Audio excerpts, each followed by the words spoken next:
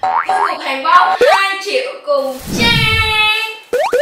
Mình thấy anh tài chị Hòa mua được cục hàng bông 2 triệu mà nó to gấp 3 gấp 4 lần cái cục hàng của mình. Còn 28 tổng cộng 2 triệu mình có 28 đơn hàng nha các bạn. 68 ngàn. Tẩy lông có đèn nhiều màu sắc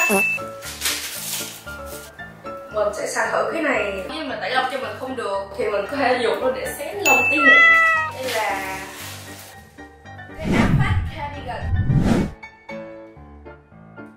Cũng được chứ? Wow!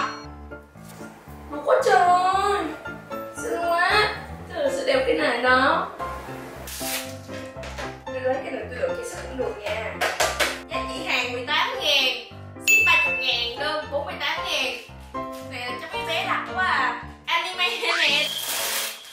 Wow Doraemon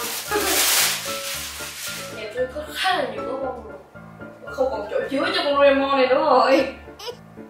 Đây là những đơn hàng bom mà mình đã khui ra. Khá là nhiều nha. Tổng cộng cái đơn hàng mà mình mua thì này là 3 triệu 492 ngàn nha các bạn.